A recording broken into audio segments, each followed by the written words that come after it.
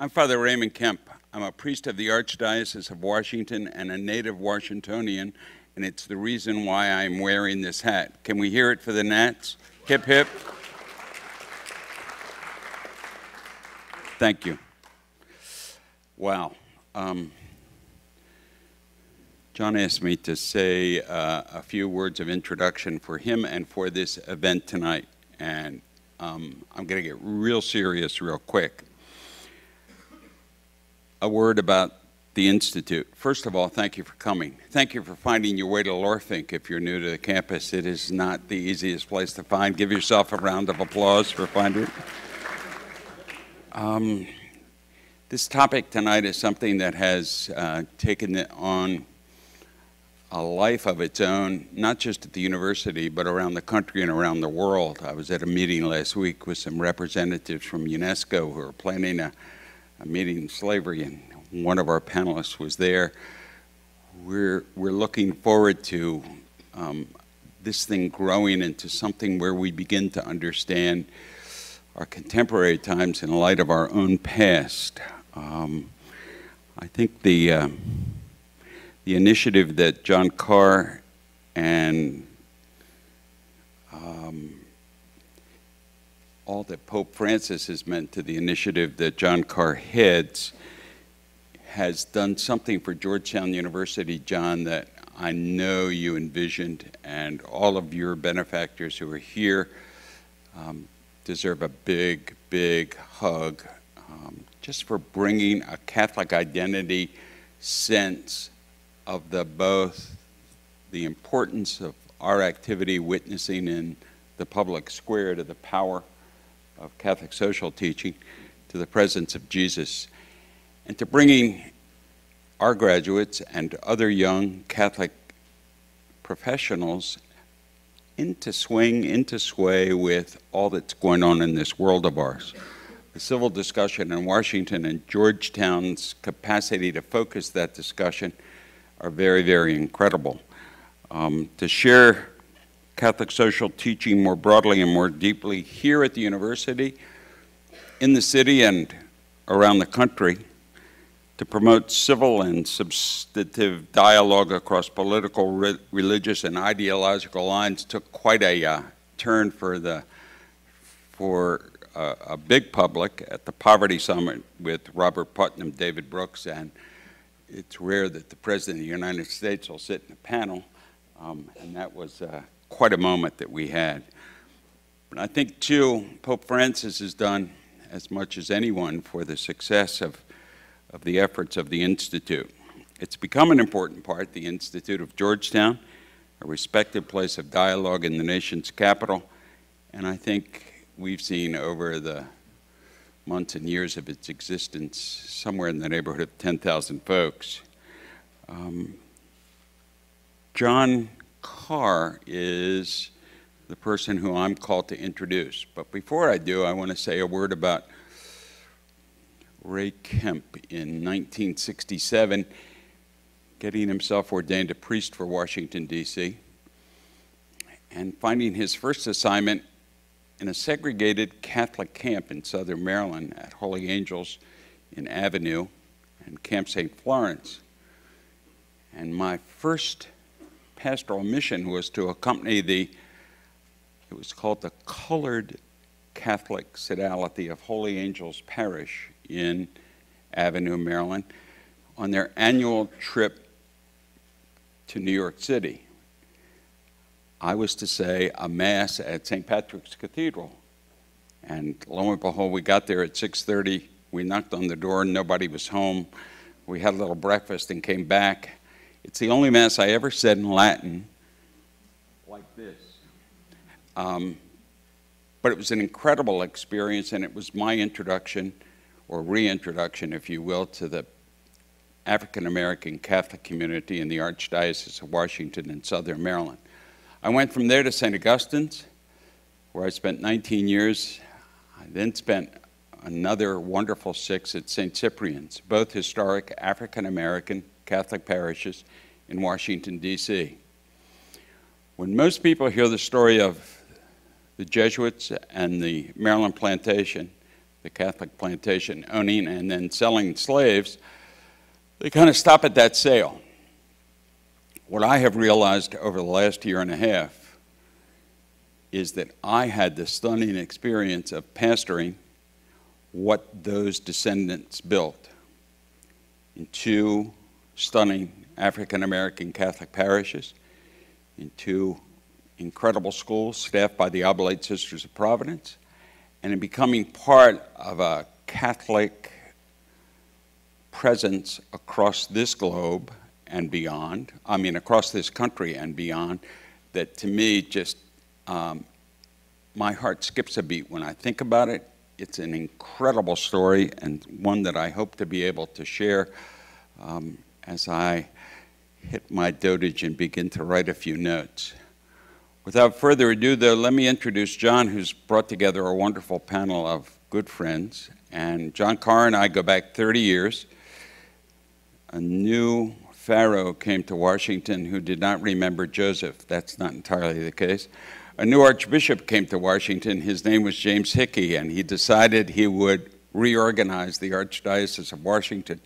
And he went advertising for positions. And a bunch of mutual friends of ours introduced us to one another, and we then began to work for six years together, implementing a variety of plans in the Archdiocese of Washington from, I was there from 86. Before that, John had worked the White House Conference on Family and multiple other uh, operations. Subsequent to that, worked for the U.S. Conference of Catholic Bishops, thanks be to God, and where he did a lot of work. And then for the last 25 years, John was a constant presence on Walter Burghardt's Preaching the Just Word retreat workshops for priests around the country. Um, John, the friendship over 30 years and the presence that we've had one to another has been nothing short of inspiring for me. I know you're going to do a great job with this thing tonight. Onward. Thank you.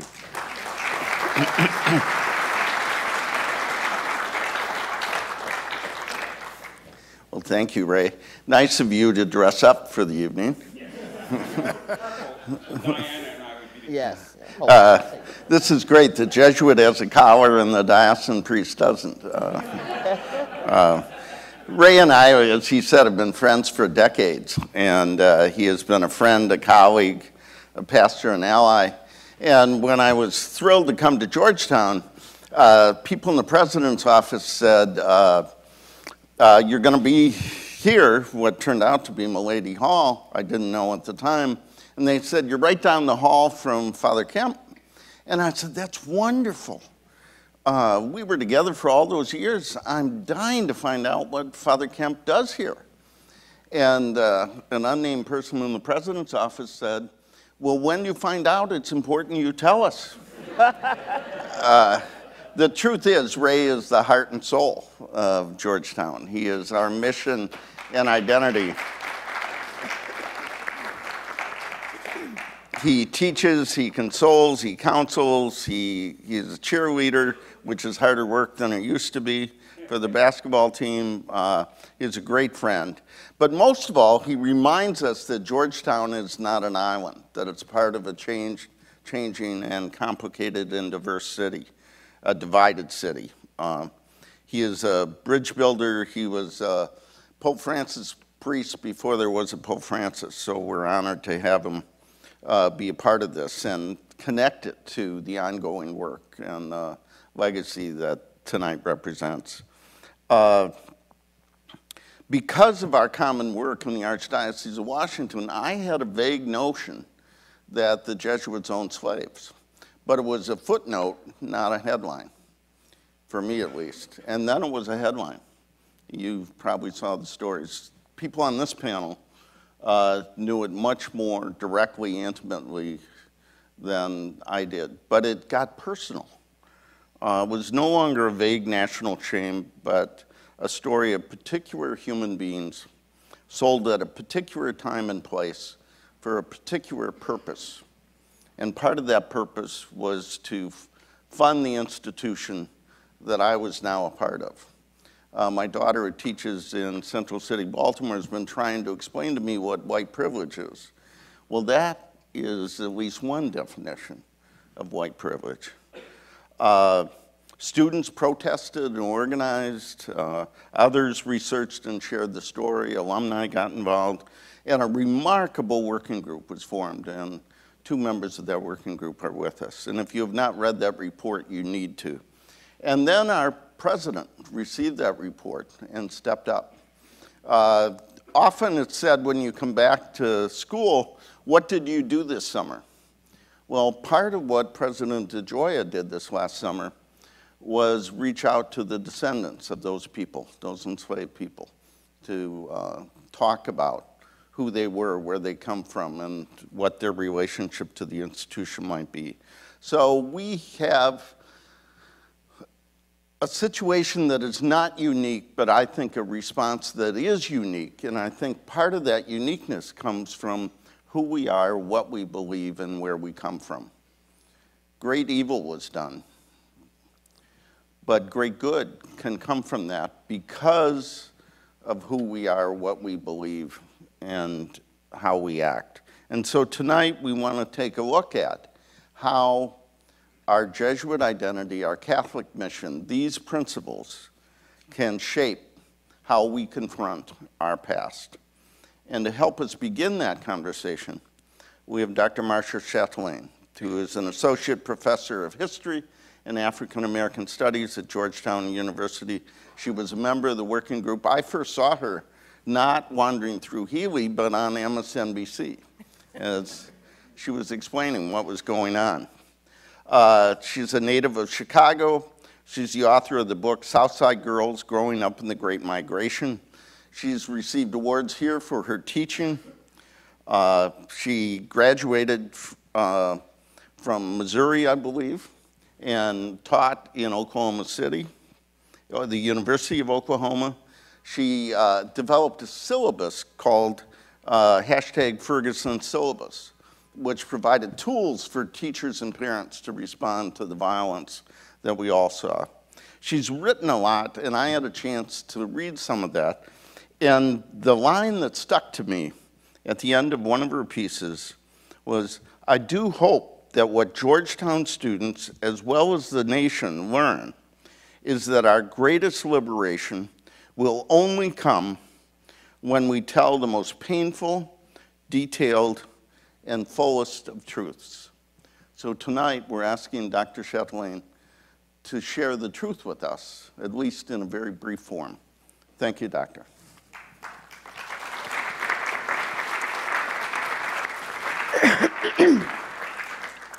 Good evening, everyone. Um, that's all right. It happens to all of us. Um, good evening. I feel like in a crowd like this, I have to say, you know, baptized at St. Ita Church, you know, First Communion at St. Margaret Mary, um, confirmation as well. Um, this is such a, a great audience um, to talk about the work of the working group. I think between um, me and Matt Carnes and the other members of the working group, we've probably talked about this. it's divine inspiration. So um, I think we've probably talked about this to many audiences. But rarely do we get an opportunity to talk to an audience oriented in the challenges and opportunities that Catholic social thought brings to us. And so I think that um, what's most important to understand about the working group isn't the fact that we were tasked to tell a truth that many of us knew, but maybe we're not ready to confront, but rather the context in which this conversation is happening before we started the panel, Father Kemp and I were chatting a bit, and you said over a 50 year span of service um, to your faith and to this city, you see some of the same things happening again. And as I get older, this sense that the past is, is reignited and reanimated in front of you and asking you new questions about how to respond to it, I, I take that very seriously. And, and I'd like to think about how this moment, tells us something about Georgetown's history, a history that people had engaged with before. When we think about the history of slavery and our nation and Georgetown University, we would be um, making a terrible mistake if we started with the sale of 272 in 1838. The history of slavery is the history of the new nation It is the orientation, the foundation of what was possible, not only in this area, but across the country. And when we think about the Jesuit presence in Maryland in 1634, um, evidence of Jesuit slaveholding as early as 1717, um, a full 72 years before the founding of Georgetown, it is very easy for us to understand how the leadership of this university was deeply entwined with the system of slavery.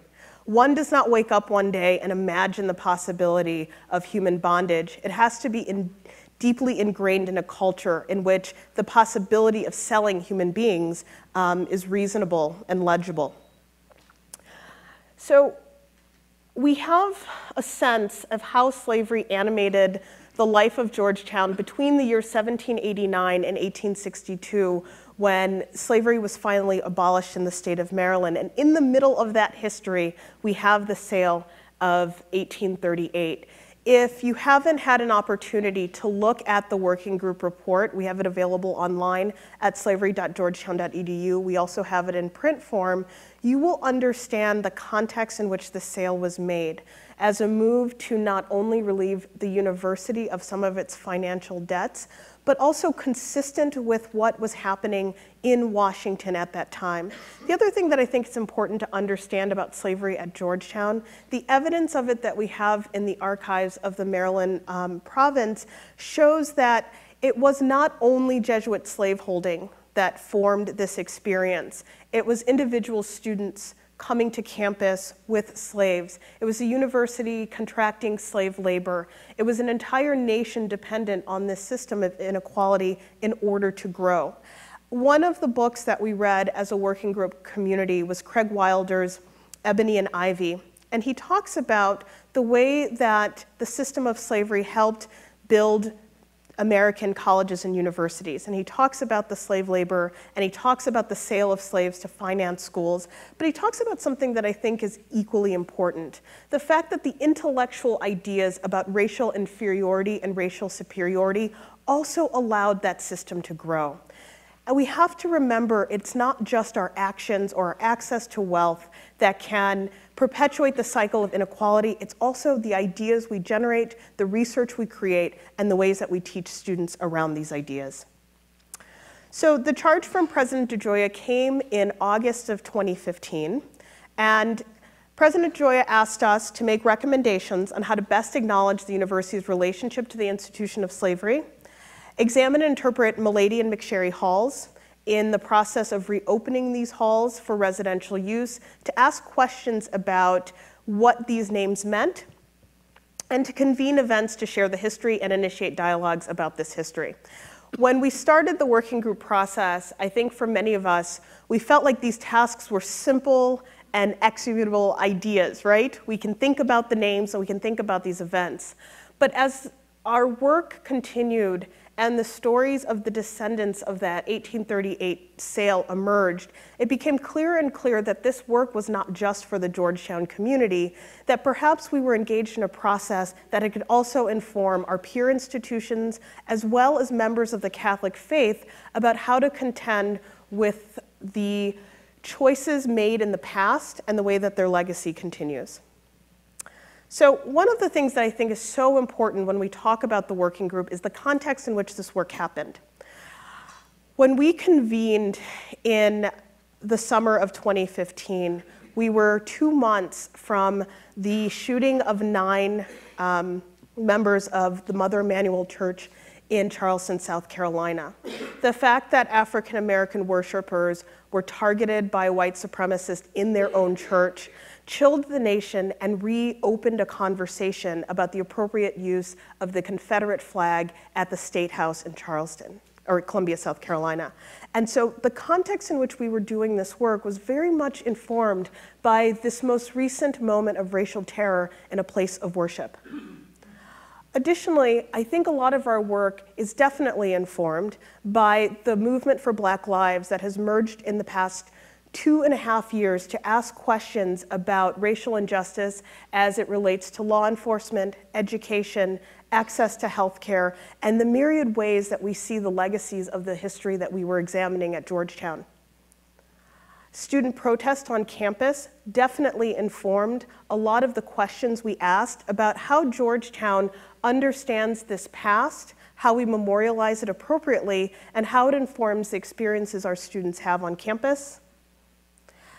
The conversation at Yale University about retaining the name of Calhoun, of John C. Calhoun on the residential college, and relics like this. Um, this is a stained glass window um, that shows slaves picking cotton.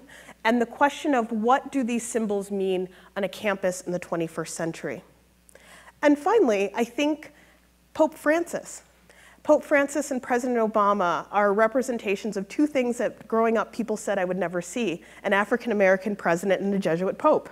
Um, you know, you, you think these, these must be end times, and I see both of these things at the same time. And so Pope Francis's visit in the fall also helped us imagine a pope who speaks directly to the people of his church and asks them to hold themselves accountable to the greatest standards of justice.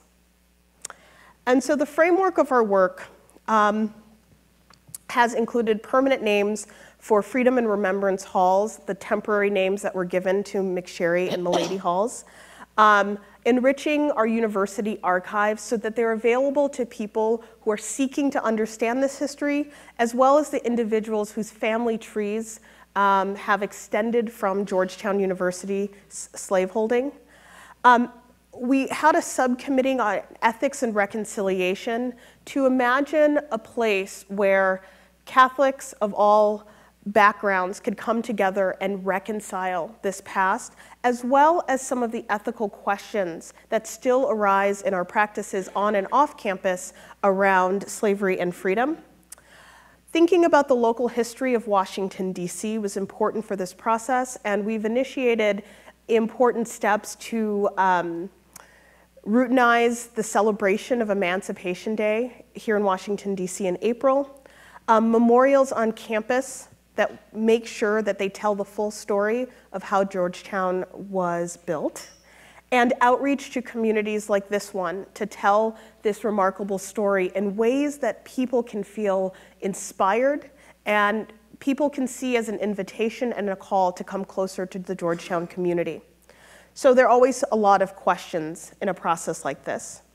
The first question is how do we appropriately and respectfully engage the many descendants that emerged not only from the sale of the 272, but the many people who were enslaved on Jesuit plantations in Maryland and the many people who enriched the university through their labor. How do we engage them in a way that honors that legacy and invites them to work with us and join us in a process towards reconciliation? How does the Black Catholic community in Washington, D.C understand this exploration? And how will we inspire peer institutions to also engage this history in ways that are responsible? Here is the opportunity in front of us. We can create an example for peer Catholic and Jesuit institutions about institutional history and practice. And I know a number of us on the working group have already been approached by Catholic institutions, Ivy League schools, and other peer institutions about doing this work. How do we understand the university's role in responding to the ways that slavery's legacy is pervasive and insidious today? Whether it's our racial justice projects in Ward 7, the classes that we provide our students so that they feel like they have the capacity to do justice in the world, how do we understand this history as part of that? How do we move beyond the stories of individuals to discuss how universities create structures of inequality? I want us to be very clear that this working group isn't just an opportunity for people to trace their, his, their individual family histories. This is not an iteration of roots from the 1970s. This is a call to rethink all of the practices that we have with us today as an institution that rely and thrive on inequality. And finally, how do we transform our campuses into places where racial justice work is generated and modeled so that when our students graduate Georgetown and return for their 30th and 40th and 50th anniversary, they don't feel like they have already seen this happen before, rather that they're given the space and the ideas to imagine a much better future. So, with that, I hope this conversation today really helps you understand the work that has been so formative for all of us in the working group. Um, for me, as a scholar who's had a lot of great opportunities tied to my scholarly work, I got to see President Obama on a panel um, here at Georgetown University. I've had lunch with Eric Holder. As a graduate student, I remember having dinner with Father Berrigan and talking about anti war activism as a Catholic. But I can't think of a moment that was more gratifying than meeting 40 descendants of this 272 for brunch on Sunday after attending Mass and just hearing their family story. So, this is what we can do when we are our best selves at this institution. Thank you.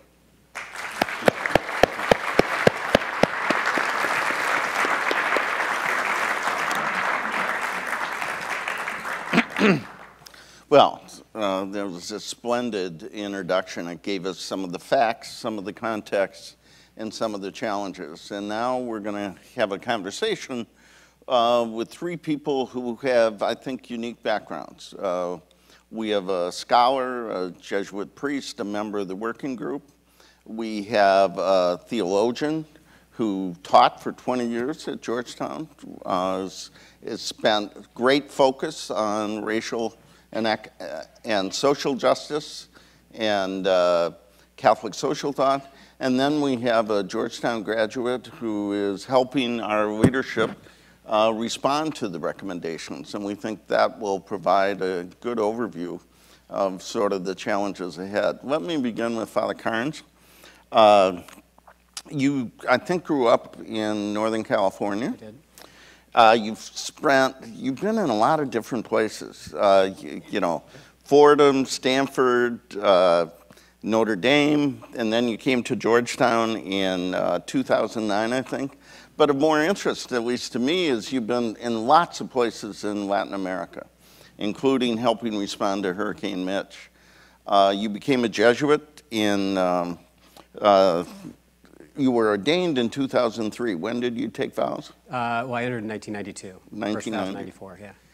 So, uh, and I was reading a column you wrote, uh, I think it was last year, and you said, uh, and you've done lots of other things. You're a Jesuit in residence, you've won teaching awards, uh, you uh, were a part of the working group, but I read this column you wrote about a year ago, and in that you said, our, committee, our community is also committed to the idea that we are at our best when we have the hard conversations. Sometimes there's a temptation to avoid the hard questions. So I'm going to ask you what I think a lot of people have been asking themselves, which is how could this happen? How could Jesuits own slaves? How could they sell slaves? How could they baptize people and then treat them in this way? Um, what were the attitudes and interactions of the Jesuits at that time? And then later, I want to ask you what is there in the Jesuit tradition that will help us think about how we set this right? But first of all, the question that occurs to a lot of us who so admire the Society of Jesus how did this happen?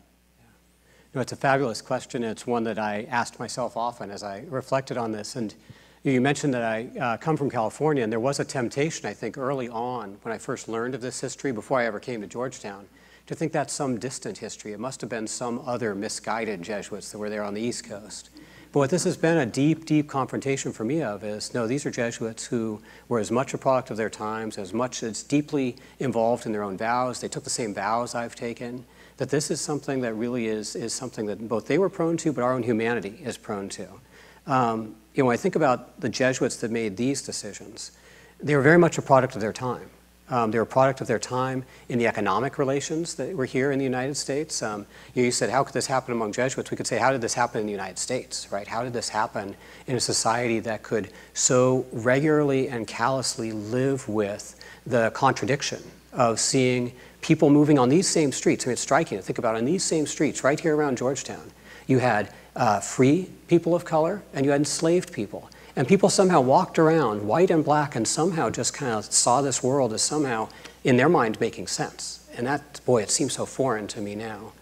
Economically, it seemed to make sense by the, the rules of the day. And the Jesuits bought into that. And strikingly, it was the American born Jesuits that bought into it most. It was the ones themselves that had grown up on plantations, both in Virginia and Maryland. They themselves had had families that were slaveholding.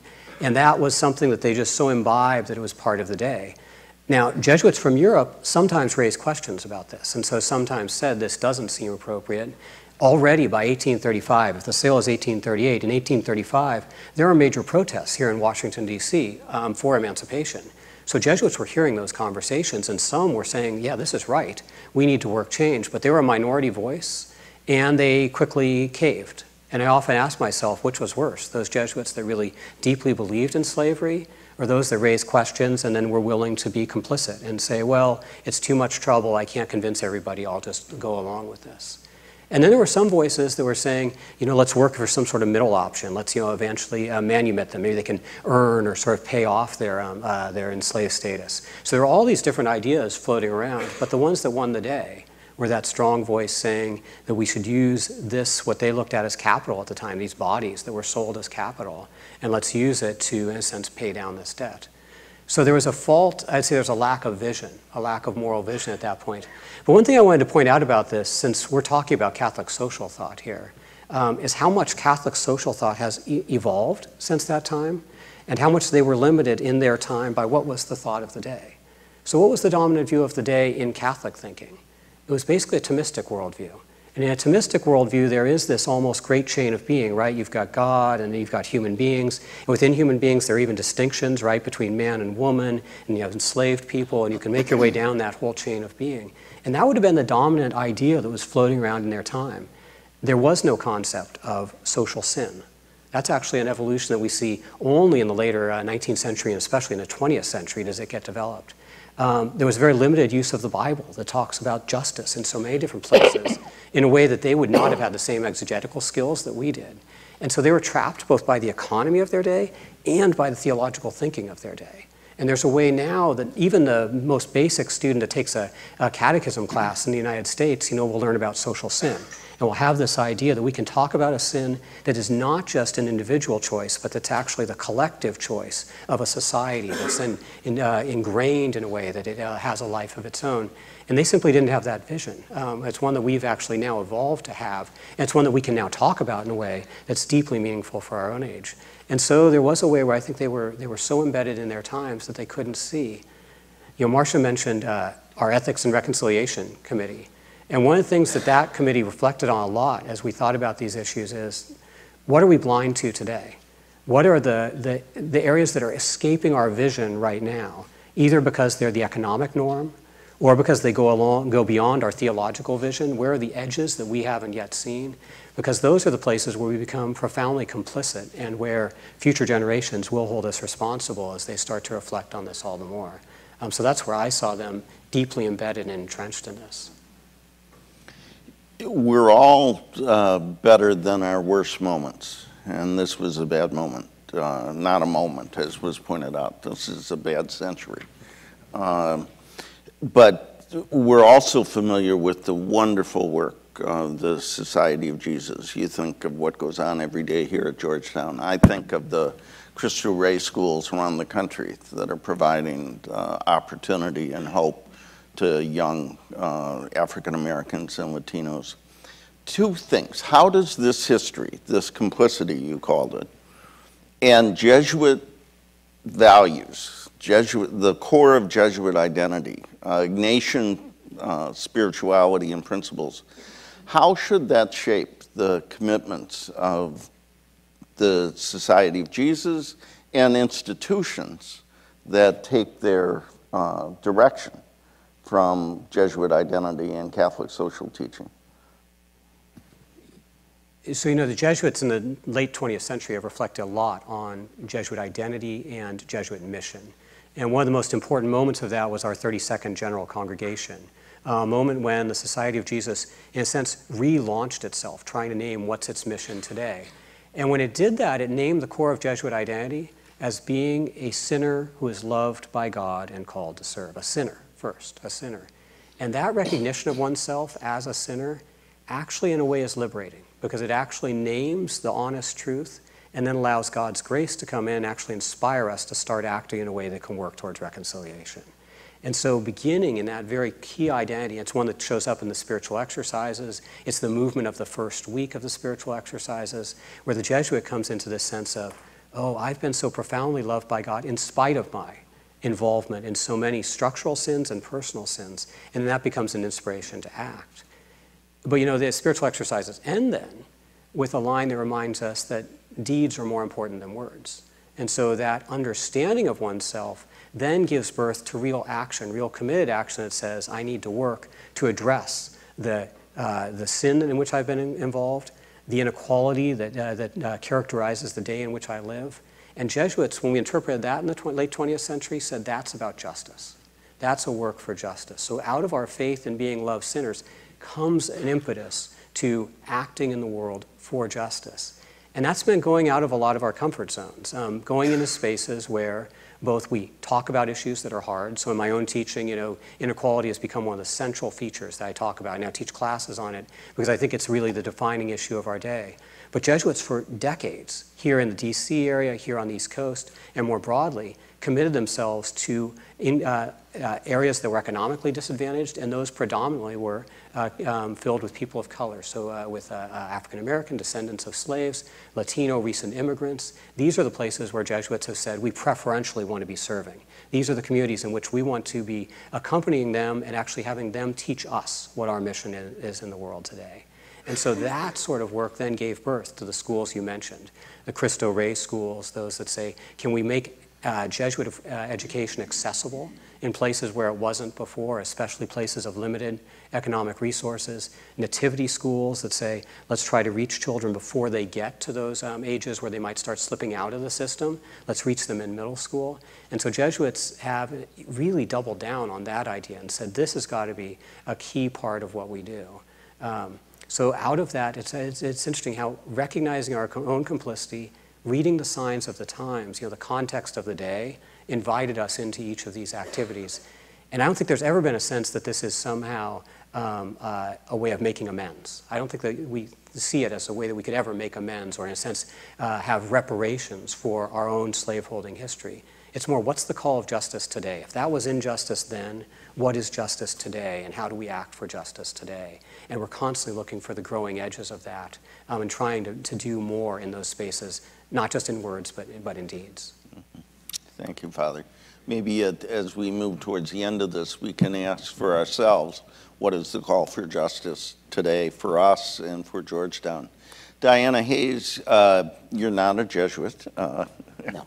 the, uh, you're a distinguished uh, academic. Uh, you graduated from uh, the State University of New York. You have two theology degrees from Catholic U.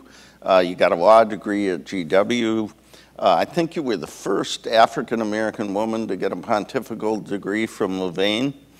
I bet that was fun.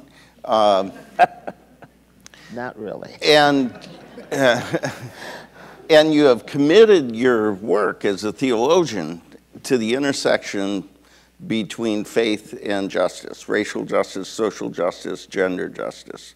I got to know Diana when we, she was in school, and we hired her to be our representative to the DC uh, government, which was also a lot of fun. Uh, working with Mayor Barry, uh, yes. uh, working with the city council. Uh, and you knew right away how smart she was and how thoughtful she was, and that uh, she would make a difference, and she has. 20 years here at Georgetown. Uh, you were teaching about this and talking about this when the rest of us barely understood this. So, my question, and you've written eight, nine books, Yes. Uh, more articles. You have wonderful titles for your books. I, I won't go through them. But uh, my question is given your work at the intersection of faith and Catholic social teaching, how do the principles of Catholic social teaching help us understand what happened and what needs to happen? Okay. Uh, well, let me start sort of at the beginning of how I got into all of this, which was at Georgetown when I arrived in the fall of 1988. And within almost a month, I think, of my uh, being in the theology department, I was approached by several students from the uh, Black Student Alliance, I think, isn't it called? Uh, and they had two questions for me. What was I going to do about the fact that the Jesuits held slaves? That left my jaw hanging because uh, I had not heard of it before. And then the other one was they wanted an African American Studies department. So those, they sort of set my agenda immediately as soon as I, like I said, within three or four weeks of, of arriving. And uh, we did eventually get a certificate program, and I'm very glad to see that now there is a department, I understand, of African American Studies. It took a little longer uh, for the slavery issue to be dealt with, but I was overjoyed when I read uh, in the papers, uh, I live in Georgia now, Stone Mountain, Georgia, uh, which has its own history, I'm sure many of you know from King's uh, dream speech. Um, but being approached that way, one of the first things I did was went to was go to Lauinger and look at the archives and look at the records. And I always say we Catholics are very good at keeping records, even the bad ones. We, we keep them. And so I was able to read the sales, the things you were just showing, the contract and the diary of the young man who was sent years later to see how our people were doing in Louisiana. And I have to admit, I was just shaken. I really was, because it had just never occurred to me that uh, the Jesuits, or that, you know, I knew Catholics had been slaveholders, but this was very close to home. And especially in light of the teachings of the church, um, especially that, that emphasis uh, in Catholic social teachings of the dignity of the human person, that all human beings have a right to be treated uh, with care, with justice, that we have rights and responsibilities toward all human beings because all human beings are created in the image and likeness of God. And one of the things that I kept puzzling over was if we are all created in the image and likeness of God, why were some images seen as lesser than others? And grew to, you know, and, and again, studying and doing research, realized that that was because uh, in the United States or in the Americas, but especially in the United States, the whole idea of race based on color came into existence as a result of the issue of slavery in many ways. And African peoples were not seen as human beings.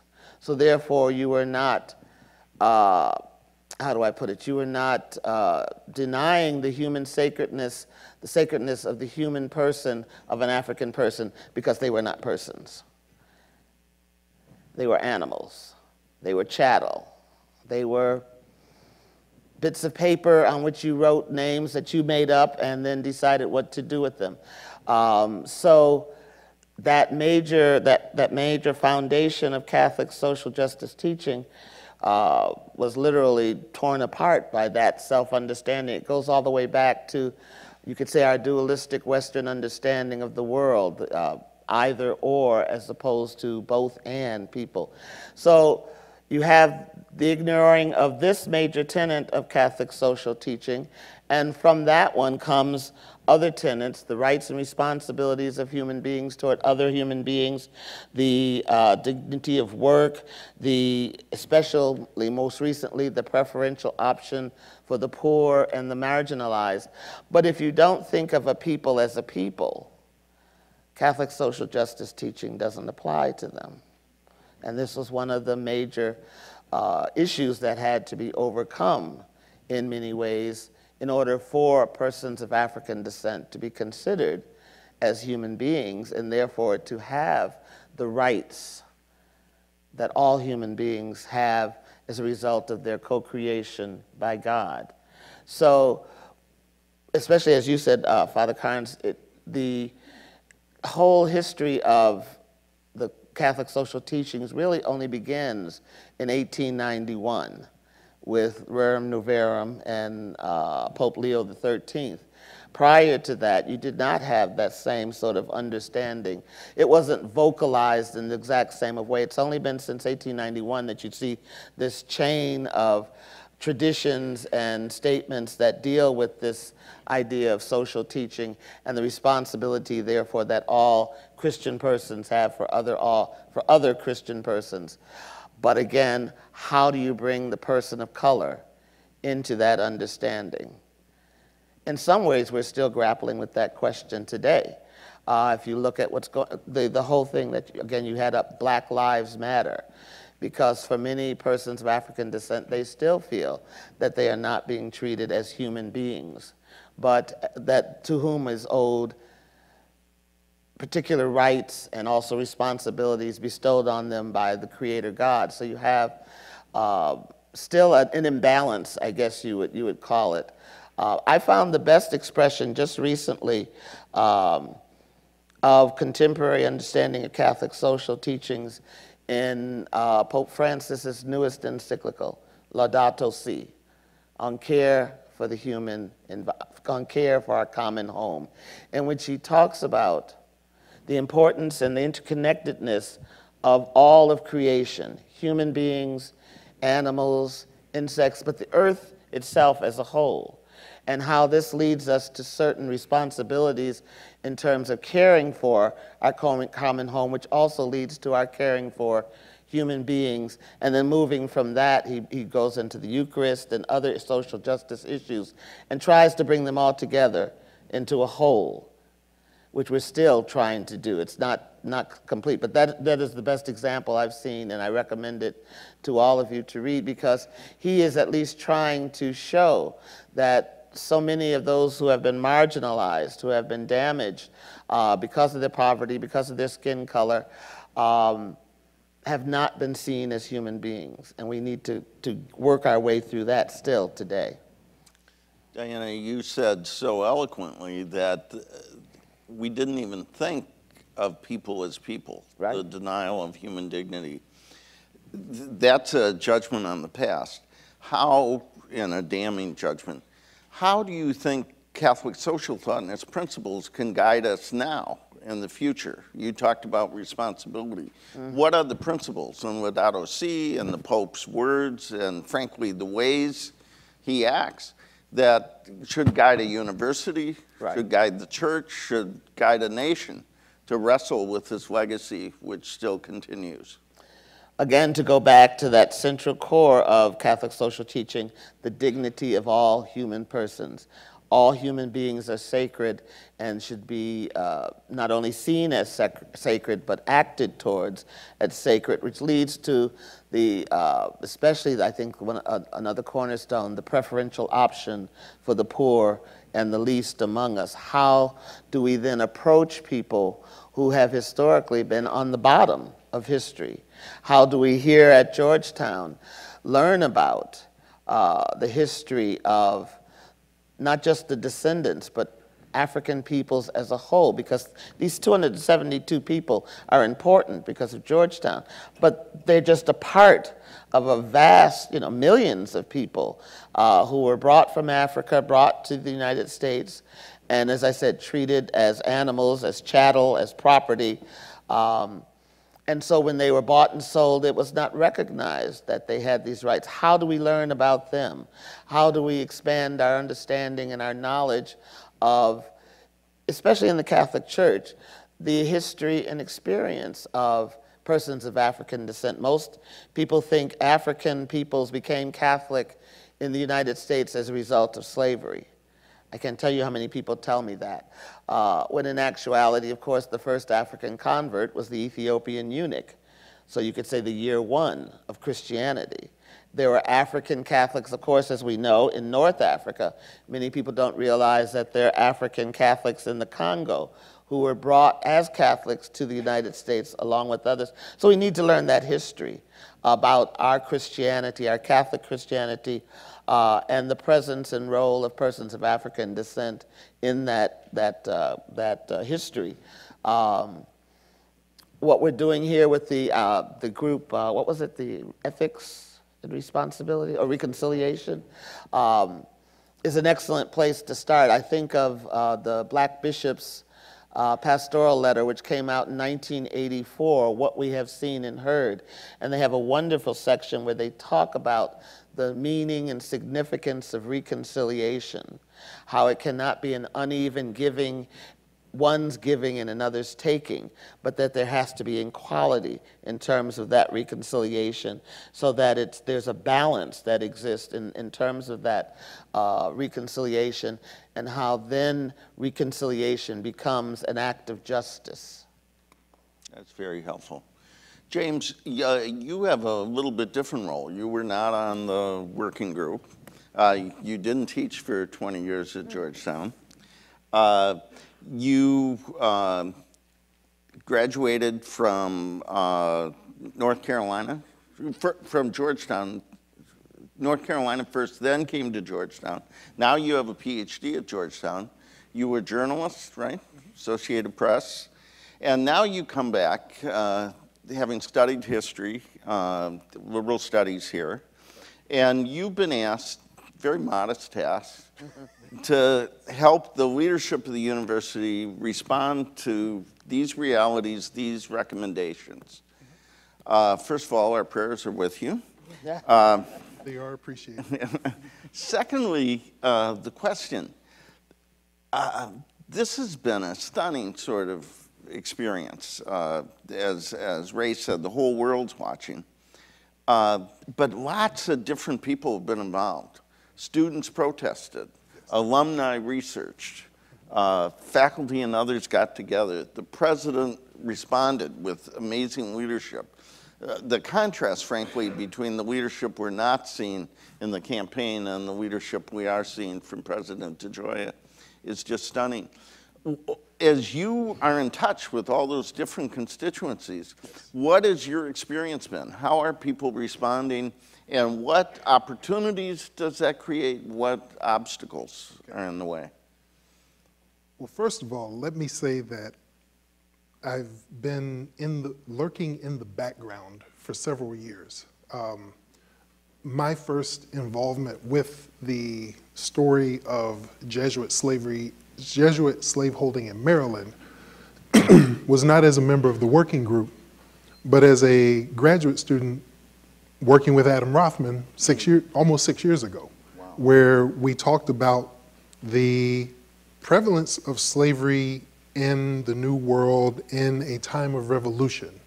So you've got this juxtaposition of the American Revolution, the Haitian Revolution, the French Revolution, all taking place at the same time that slave societies are being constructed in the, in the Americas.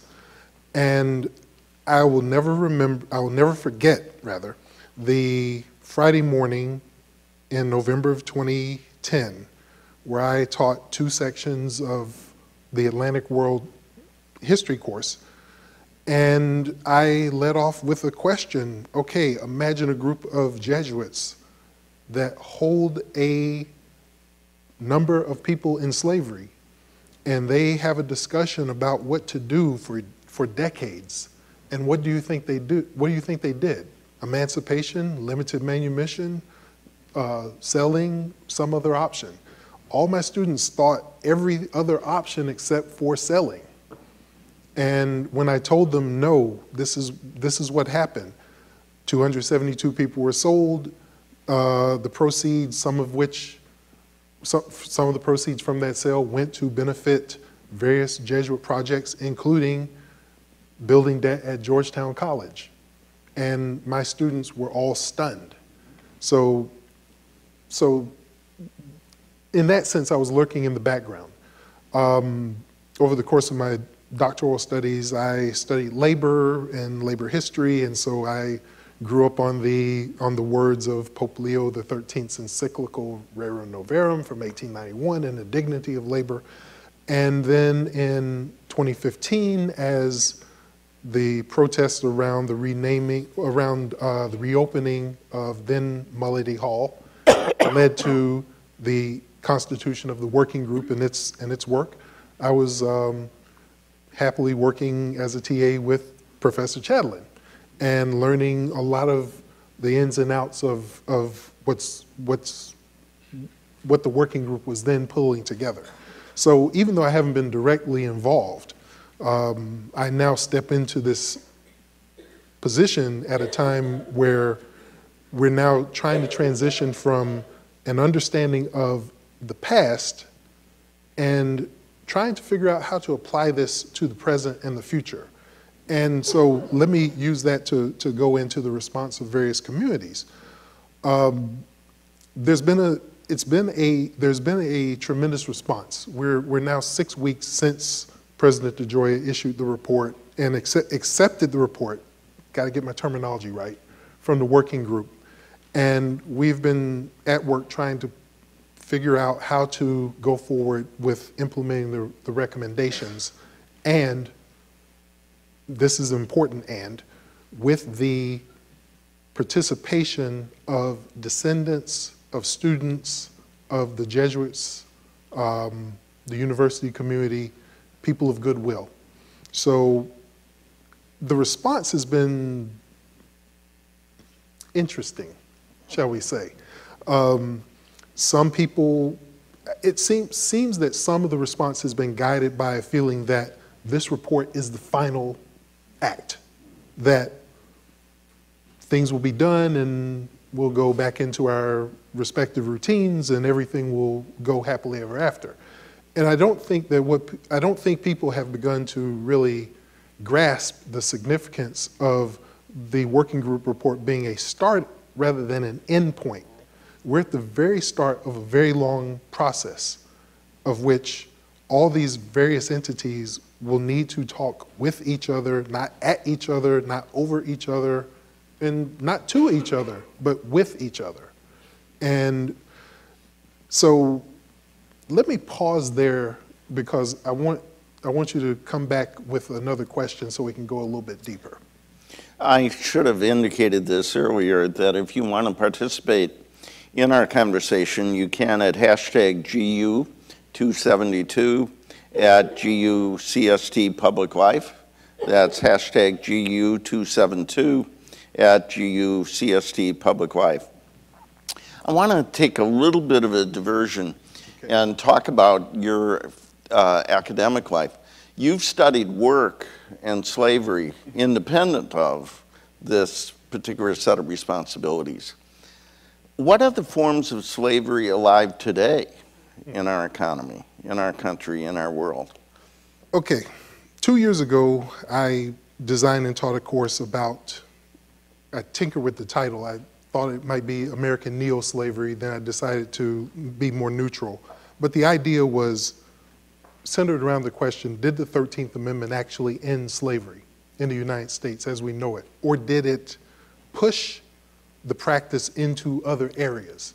And so my intrepid seven students and I, because it was a seminar, we studied sharecropping, we studied the convict lease system, we studied um, the, the ins, the, the difficulties and um, really tough parts of policing the domestic economy. How, how does a domestic do work in a house? How much does labor, how, how well do labor laws cover that person? Uh, we looked at farm workers in, in numerous incidents. And so we, we bridged the gap of 150 years from 1865 up to 20 to the present. And really, you know, now, nowadays there are practices trafficking into forced labor.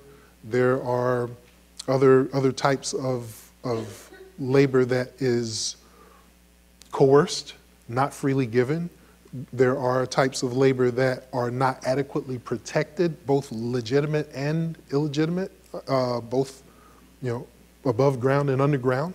And so the the idea is that that even though we have passed an amendment that effectively bans uh, slavery, we still have these practices that could very well be described in some terms by some people as slavery, relate, you know, relating to um, a farm worker not getting paid the proper amount, not getting paid minimum wage, um, the, the prison industrial complex. You know, how does that restrict people by keeping them out of the, the, the labor market. So, you know, there, there are many ways of, of looking at this. And, and I think that, that speaks to why this particular story at this particular time has such uh, resonance. Because, yes, we're talking about a university that in part had benefited from slave labor and that way that in that sense benefiting from the denial of that dignity you know the, the denial of pay the denial of people being able to work and produce for themselves and for their, their families and their communities but we're, we're it's, it's highly ironic to me that Pope Leo XIII could issue this encyclical in 1891 during an era that was considered, um, you know, the Gilded Age, and we're having similar conversations right now in the 2010s, 2016, around inequality. Uh, we talk about how, in, in, in various, in various uh, disciplines, we talk about how lack of access to um, economic advancement is one of the recipes for radicalization. And yet we're seeing a lot of this in the United States at this point. Mm-hmm. And yet, you know, where, where, can, we, where can we step in? Uh, how can we step in with our Jesuit identity, our Jesuit values? And one of those things I think, you know, um, Father Carnes had said that we cannot necessarily um, I'm going to paraphrase you for a second here, that we cannot necessarily recoup or right the wrong that has been done, but we can do justice today. Mm-hmm. And that's one of the reasons why this moment in particular matters uh, with regard to the work of the working group, with regard to the conversations that we're trying to have with various entities and people um, around how to figure out what reconciliation looks like. Mm-hmm. And if I could finally say this, sure. we think that this is a difficult conversation to have because you know some people will say, "Oh, well, slavery was so long ago." And one of the things I like to say is this: Well, if if slavery was so long ago, then you may want to stop talking about the Constitution because that's older than, than this institution of slavery in the United States. You might want to start, stop talking about the Reformation because that was older than slavery. You might want to stop talking about the nation state going back to the 1640s because that is older than, than 180 years ago. And you might want to stop talking about the Magna Carta and common law at 800 years. And the point, you know, I mean, it's funny, but at the same time, the, the point that I'm trying to make is we live in a society that is built on all of these things that are hundreds, even thousands of years old. If you look at the, if you, if you go to Judaism and look at the, the, the, the slavery tale for Passover, thousands of years old. So if we can talk about it in those terms, if we can talk about these, these various entities that, that help form the foundation of our society, we can talk about slavery. We just have to find the right tools in which to talk about it. Well, for Christians, the gospel, I think, Exactly. predates Yes. slavery. Uh, I'm going to invite our audience to uh, join this conversation. I think there are going to be some mics uh, that are placed. Uh, let me, as we make this transition, ask uh, what may be a too personal question, and I'll invite you, Marcia, to join us. Uh, each of us, in our own way, talked about how this affected us. Father talked eloquently about his religious community. Diana talked about how stunned she was to see what she saw. You're a Catholic laywoman, talked about how this affected your faith. The, you've been talking about Rerum Novarum. When you are a part of a family of faith, when you do have institutional loyalty to this grace place, how does it challenge you to be so clearly confronted by institutional evil uh, done by religious people, by the people who built this. And what is our obligation as carriers of those values to set things right? If uh, anybody can jump in, maybe Marcia first. I mean, and then we'll have a uh, chance for questions. As a, as a U.S. historian, you know, nothing surprises me. Um, no institution of this age and prestige and location could have clean hands when we think about the institution of slavery and its pervasiveness. And to be honest with you, I'm more troubled by my personal experiences of racism within the church than the historical legacy of the foundation of American Catholicism.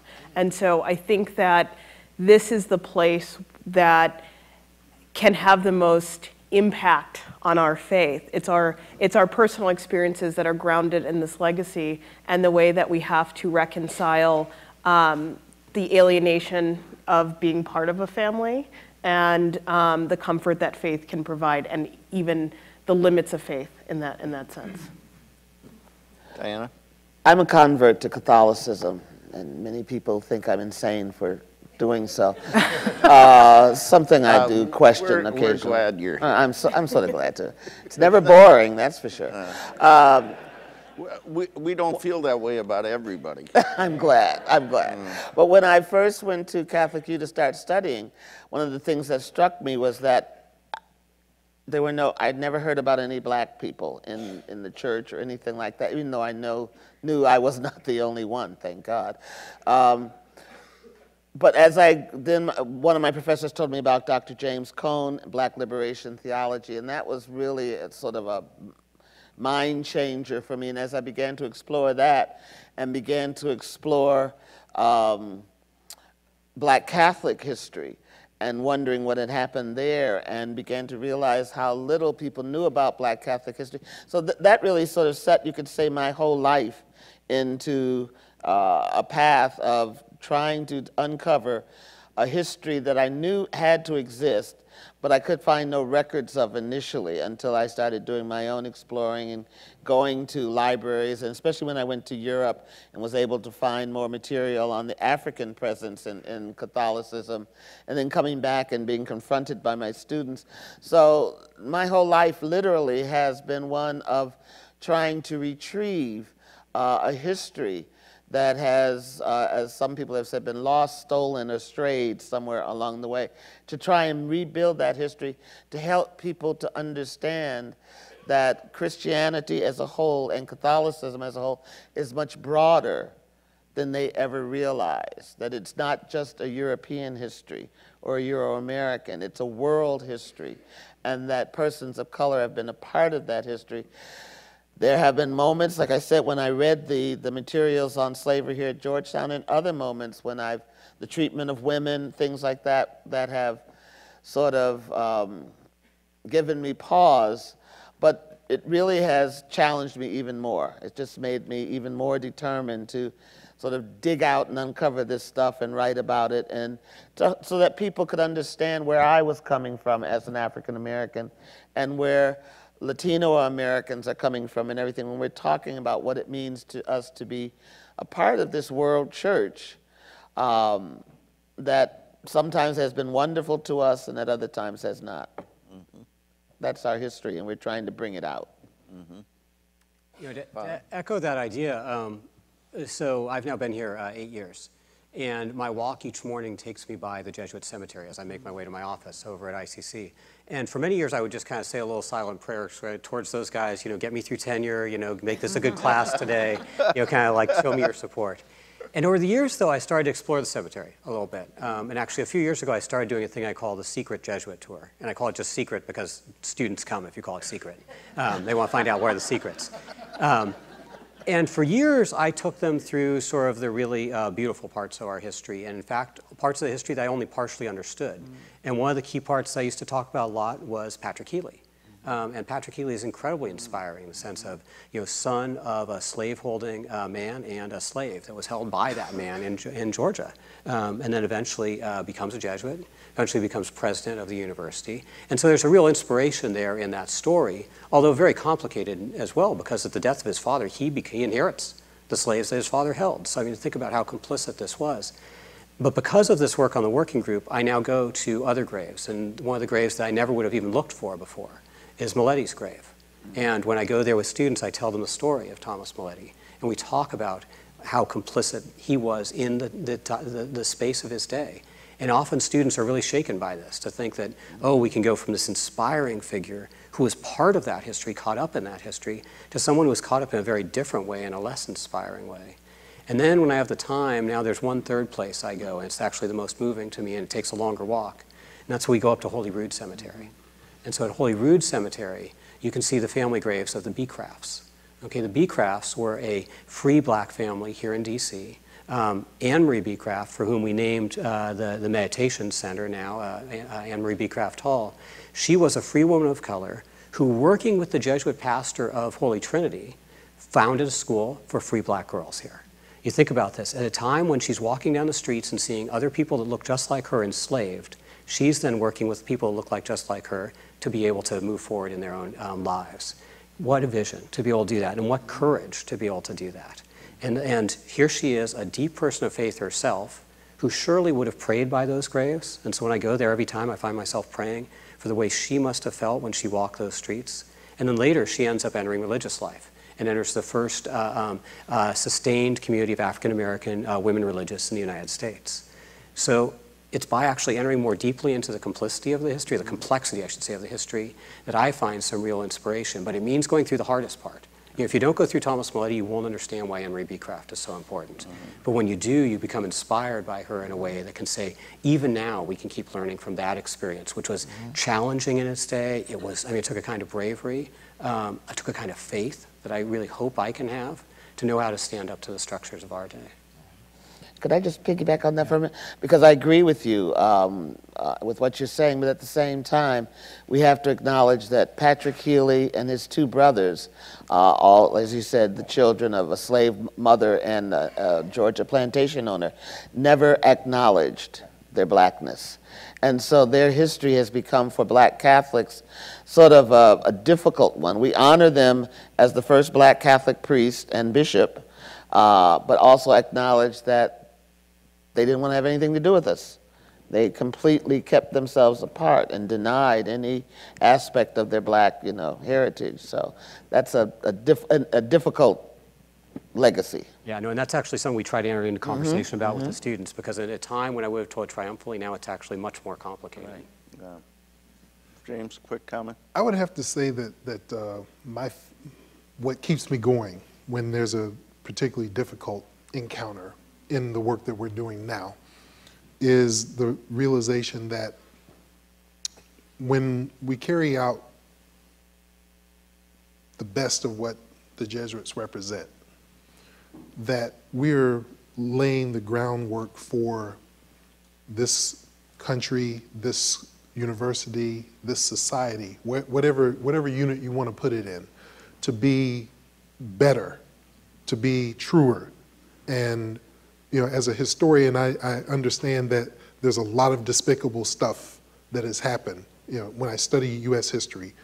But there's also this idea of a promise. And when, when we do the right thing, when we try to do the right thing, I feel that we get closer to that point where we have reached a place where everybody is dignified, everybody has value, everybody is able to contribute to the whole. So mm -hmm. that's my brief comment. Thank you. Sure. I see somebody there, and if you want to ask a question, there's another mic over here. Uh, we can't see you. The, they've lit us up really nice, so uh, if you would speak up, identify yourself. Uh, my name is Dan Colopy. I graduated from Georgetown in 1980 with an American Studies degree. But I don't recall spending more than 25 minutes talking about slavery which gives you some idea of how the university has changed over time. Um, I've not read the report. I've been relying on newspaper accounts of what Georgetown is doing. And the one part of it that I don't quite see emphasized um, enough, particularly if you think about this act of contrition we're all trying to make, which is certainly needed, uh, was the reality of being sold as a slave that had had an existence in Maryland in those plantations to be sold to Louisiana. And from what I've heard, the conditions in 1838 for slaves in this country probably could not have been more horrific in terms of the options. So it's more than just a financial transaction. And despite the caveats that were put into the sale, sale that they'd be allowed to continue the Catholic faith and they would keep the families together, I think if they were honest with themselves when they wrote that language, they knew it was completely unenforceable, probably a good wish.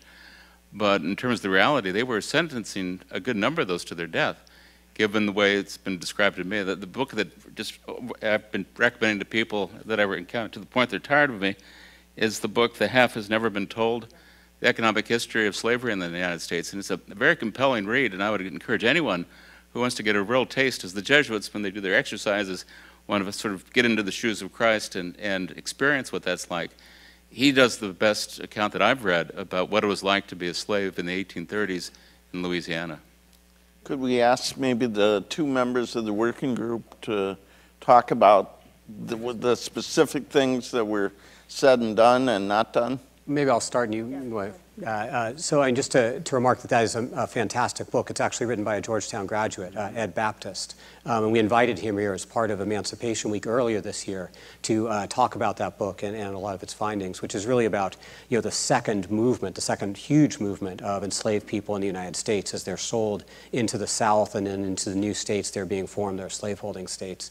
And as you say, it is uh, some of the most egregious treatment um, in the United States. Um, the harshest conditions, harshest treatment by uh, so Johnson, who's one of those that buys uh, the slaves, has a reputation as being one of the most um, violent towards his slaves. And Batey is the other, other uh, um, uh, buyer. And they quickly start going into bankruptcies on small parts of their plantations, so then further selling the slaves that they themselves had acquired, and then those slave families being separated. So there is a, um, a both a violence and a separation of families that happens there as well. But I think you've said it all. Next question. So, my name is Aya Rulaba, and I'm a senior at Georgetown, majoring in government with minors in economics and African American studies. And I was glad to be introduced to Catholic social te teaching by Father Kemp in his class, Church and the Poor. So, as a member of the working group myself, and one of the things we discussed was uh, how can we make sure that this history is going to be something that's not only known, you know, five years from now, but 10, 50 years from now. And then also as a student and a, a, part of the activism on campus and really the engagement of students in the, in the work that the working group did, I would be really interested to know, I mean, you know, I'm leaving Georgetown after this year, and for you, those of you who are gonna be here for years to come, how do you really see students, the impact of the student experience at Georgetown through this history, and then how do you see further the engagement of students in the role of uh, reconciling this history? Yeah. First, Oh. Well, just first of all, thank you for your yeah. leadership and participation. Yes, I was a great student. Um, so I think that this is an important question because I think that every institution um, struggles with the uses of tradition versus nostalgia. So a lot of these arguments about keeping buildings named X or this statue Y, this is about nostalgia. Nostalgia doesn't do anything good for people. Tradition is about a series of values that can animate our institutions as the world changes around them. And so I think that we're hopefully we're teaching students today that that is possible. But I think when we talk about how do we keep the history here, it isn't just a matter of a statue or memorial, it's giving meaning to these sites. Because we have many sites throughout our nation, especially being in Washington, D.C., that are sites of extreme violence, extreme loss, and they can become a park they can become something cute to take a selfie with, right? At Brown University, they decided to memorialize slavery with um, a rendition of um, a weight and a chain. And people take wedding pictures there, right? Because they think it's a ball and chain joke. And this is within this is within moments of this happening, right? So it is not just about creating the structures, it's about making sure that we're in an institutional culture that reminds us to always make meaning. And the second thing I'm going to say, and this is um, to President DeGioia's credit, um, in 2014, weeks after the, the killing of Michael Brown in Ferguson, Missouri, um, President DeGioia had a choice to make when he did the opening convocation speech for freshman convocation. He had a choice to make. He could talk about whatever he wanted. He's the president of this place, right? And he spent time talking about the legacy of slavery and unrest in American cities. Very small gesture, right? This changes the tone for all New Hoyas. They are now at a school where the president of the university talks about issues of critical importance at the opening convocation with their parents there and the faculty and the staff, and this fundamentally changes the culture. Students coming to Georgetown believe that part of what a university does is engage in difficult conversations about the past.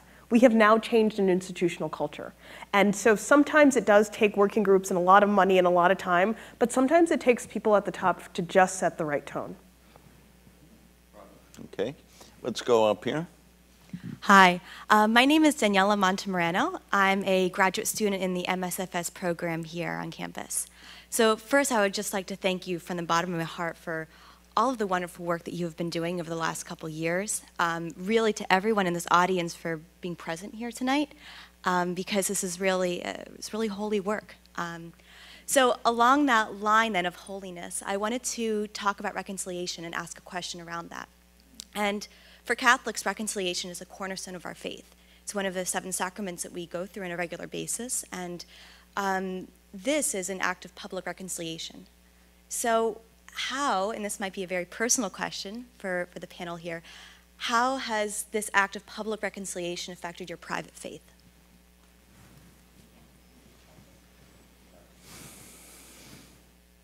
How has it affected us privately? Yeah, may- maybe personally, maybe private. Personally? Bit of, Yeah. bit of a touchy, touchy. Well, for me, the, when I saw the first headline come on uh, my email,